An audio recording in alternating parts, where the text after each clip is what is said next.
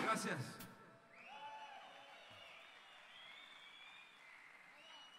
Así es la cosa. Gracias.